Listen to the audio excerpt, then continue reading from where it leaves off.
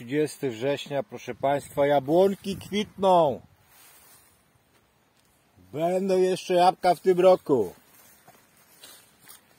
Mało tych kwiatów. Niestety.